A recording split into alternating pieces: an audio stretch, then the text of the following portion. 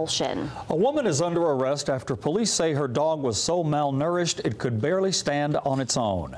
According to the police report, the dog was turned over to the animal shelter. Officers say the dog tried to bite them, but it was so skinny and weak it was too slow to get to them. Police say the dog could barely stand longer than a minute. Rescuers say they had no choice but to euthanize it. The dog's owner, Bridget Banks, was arrested and charged with aggravated cruelty to animals.